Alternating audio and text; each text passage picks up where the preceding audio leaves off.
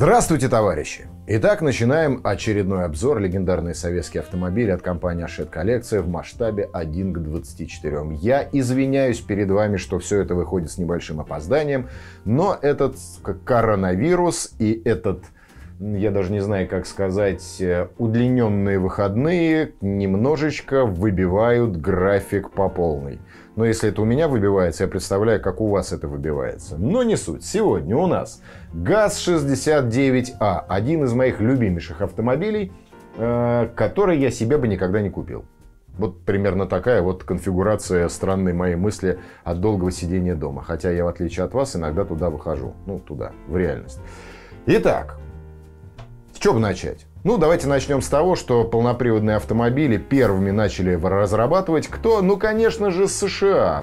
А, в конце, в начале 40-х годов. Сначала был Бантом, потом был Виллис. Но надо отдать должное советскому руководству. Они вторые в мире приступили к разработке подобного автомобиля. Конечно же, опираясь на опыт – американских товарищей. Американские товарищи, те еще парни, всегда на шаг впереди планеты всей, были когда-то по поводу автомобилей. Был создан ГАЗ-60, сейчас скажу, какой, я все время их путаю, потому что 69, 67, 60 какой-то, ну, наверное, все-таки 64. Вот, 64-й газончик был создан.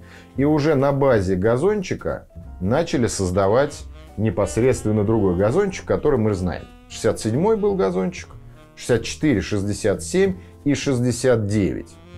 А и просто 69. Что удивительно в этом автомобиле? Да в том, что он на порядок превосходил уже после войны, а, потому что производство его начали в 52 году, по 72 год он выпускался. Так вот, Производство его началось в 1952 году, но как только он поступил, ну не в свободную, конечно, продажу, а воз... появилась возможность приобрести его за валюту у других государств, ну и, конечно же, СЭФ, взаимопомощь братская, он сразу же превзошел и лендроверы, и джипы, чтобы вы понимали. Ну, об этом я сегодня не буду рассказывать. Обязательно как-нибудь расскажу на примере своего 69-го газончика, который на него похож только внешне, а по внутрянке это, конечно, тлен, э, слезы и гнездо птичье покажу, поэтому следите. Так вот, что в нем хорошего? Именно примитивность конструкции. Рама, как всегда, для, тех автом... для автомобилей той эпохи. Рессорная подвеска и спереди и сзади, мы это видим. Опять же, на машинке Ашет коллекция в масштабе 1 к 24. Этот масштаб позволяет нам рассмотреть любые нюансы автомобиля. Ну, естественно, ничего не открывается. Так вот, разрезные мосты, практически одинаковые, и большое количество комплектующих, пересекающихся с другими моделями Горьковского автозавода, чтобы вы понимали. Начнем с самого первого. Двигатель. Двигатель в 69-м газончике, кстати, у нас версия четырехдверная, с мягким, роскошным, подпружиненным диваном. Трехдверная версия уже была у компании Shed коллекция в предыдущих выпусках – но этот считался более комфортабельным, потому что у него сзади действительно был пружинный диван. А при жесткой подвеске рессорной, прям действительно жестко, поэтому он получил название «Козел», э, мягкий диванчик сзади позволял достаточно комфортно путешествовать по разбитым дорогам нашей необъятной э, матери Родины. Итак, рессорная подвеска очень хорошо читается, мосты очень хорошо читаются, Поворотные кулаки совершенно не читаются, ну да это собственно и понятно. Поэтому передний и задний мост фактически идентичны. Хорошо видна раздаточная коробка, которая крепилась э, к трехступенчатой коробке газончика. И опять же, я подчеркиваю, коробка была от М20, от Победы. Единственная, она была немножко переделана. Чуть-чуть. Ну, мы помним, что у Победы переключение, опять же, под рулем было. А здесь напольное переключение. Кстати, если вы присмотритесь, я вот специально под лампу раз, и я вижу ручку КПП и рукоятки раздаточной коробки. То есть проработка машины, модельки очень хорошая, при том, что тент не съемный. Кстати, он и в реальности не съемный. Если у трехдверки он был съемный, то здесь складывающийся, чтобы вы понимали. То есть, в принципе, снять его можно было, но он все-таки больше складывался. И если вы посмотрите, здесь нету крепежных, как это назвать, ремешков, которые находятся сзади, вот здесь вот, видите, клипсы такие. Ну, не клипсы все-таки, это, конечно, защелки, задвижки, я забыл это слово. Снимались оконные э, рамки, там железный каркас, брезентовая, сама по себе брезентовая накладка. Господи, что ж такое-то? Вот что значит давно не рассказывать про машинки Ашет коллекции. А все это ковидло виновато, будь оно неладно. Хромированные рукоятки видны. Я, честно говоря, не уверен, что они были хромированные. Кто, если кто-то знает, пусть меня поправит. Я не настолько специалист. В рукоятках 69-го мне почему-то кажется, что они все-таки были темные хотя, может быть, и хромированные. Но мы можем посмотреть в журнале, который прилагается вместе с машинкой, легендарный советский автомобиль в масштабе 1.24. Вот видите, хороший глянцевый журнал. Смотрим фотографии, действительно видим хромированные ручки. Ну, а почему нет? Да, действительно хромированные ручки. Кстати, журнал очень полезен. Здесь есть компоновочная схема автомобиля. Очень хорошие статьи. А, но я люблю на самом деле последнюю советский автопром 70-е годы, грузовики. Вот, то есть все-таки хромированные ручки это уже. Плюс фароискатель действительно такой стоит, стоял и будет стоять на машинах. Единственное, здесь все-таки больше пластика в этом автомобиле, нежели чем э, металла. Кузов сделанный по технологии литья под высоким давлением. Вот, здесь все-таки пластиковый капот, пластиковая крыша остальное все металл. Правильная резина стоит, что уже приятно. Колпаки, э, колпаки, колеса. Интересная особенность, э, что в силу своей унификации диски очень похожи на 67-е. То есть пресс-форма была такая же, но крепление уже было немножко другим. Что мы еще видим снизу? Ну, я уже про рессоры говорил, раздатку говорил. Двигатель. Так, видим картер двигателя.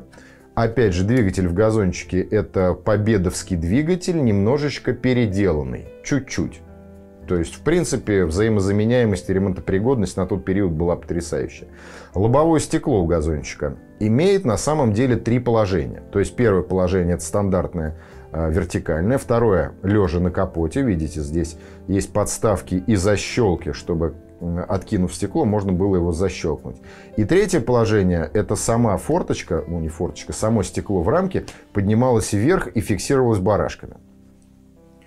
Ну, бараш, ха, парни, там действительно есть э, крепежные салазки. Их очень хорошо видно, и они даже выкрашены в другой цвет. То есть можно снять крышу, и будет смотреться все даже очень, очень серьезно. Я думал, они это не сделают. Да. Правильная руль. Приборка правильная. Удивительно. Я бы вообще на это не заморачивался. Тем более, что все закрыто. Ручка страха. Видна. Виден даже плафон подсветки. А вот это что такое, я не пойму. Напоминает гофру от печки, но печка там, печка там ужасная. Она как бы согревала только при движении автомобиля. То есть, когда вы поднимаете воздухозаслонку, вот этот воздухозаборник, только тогда набегающим ветром через печку продувался салон. Но зато на 69-м классно ехать и зимой, и летом без тента, скажу вам по секрету. Тут создается э, воздушный шарф тепла. Так, что еще смотрим? Все правильно, повторители. Горловина бензобака. Даже есть, да, петля открывания, лобо... откидывания лобового стекла. Спереди написано УАЗ. Мы же помним, что э, ГАЗ-69 начали производить э, в 52-м сначала на Горьковском заводе. Через несколько лет наладили производство на Ульяновском заводе. И попутно выпускали и ГАЗ-69, и УАЗ-69. Конечно, самые ценные это газончики. Но УАЗ-69 на самом деле не сильно отличается от газона. И Ульяновский завод перешел полностью на производство, вернее нет, Горьковский завод отказался от 69-х, в тот момент, когда ульяновцы начали производить комплектующие автомобили самостоятельно. И еще хорошая особенность, это тоже здесь видно, передний мост, например, на 69-м отключаемый. Правда, это редкостный, редкостная головная боль. Хабов не было. Надо было выйти и с ключами немножечко полюбить родину и грязь. Но в целом очень все достойно, господа. Действительно, ух, даже салонное зеркало я вижу. Ну, приятно. Черт побери. Приятно. Он очень милый. Это один из лучших, один из красивейших автомобилей. Еще раз хочу сказать, что было два вида газончиков 69. Это А и просто ГАЗ-69. Один был э, двухместный э, с лавками сзади, второй был полностью пятиместный, который у нас сегодня на обзоре. Э, двигатель М20 четырехтактный четырехцилиндровый карбюраторный, 55 лошадок при 3600 оборотах в минуту. Тормоза, естественно, по кругу колодочные и барабанные, но уже с гидравлическим приводом. Естественно, никаких усилителей. Все как надо. Время разгона до 100 километров не указано. Зато максимальное 90 в час. Ну, 60-70 дальше уже просто душу вытрясает. Расход 20 литров, как не старайся. Достойный, достойный автомобиль. Мне нравится, я даже знаю, кому его подарю. Себе. Итак, анонс на следующий юбилейный 60-й выпуск. Будет у нас горе, печаль и счастье Ижевского автомобильного завода. Или Ижевского, как вам больше нравится, товарищ. Пишите в комментариях. Иж 2126 на настоящий автомобиль и Иж, и прототип я обзоры делал. Ссылочка будет. Вот он, собственно, он даже здесь немножко страшненький. Ну, что есть, то есть. За сим решите откланяться. Носите маски, мойте руки. Не будьте как эти олени, гуляющие на 9 марта, извините, 9 мая в парках и плюющие на окружающую среду своим, как это сказать, пофигизмом. Будем живы, не помрем. Удачи!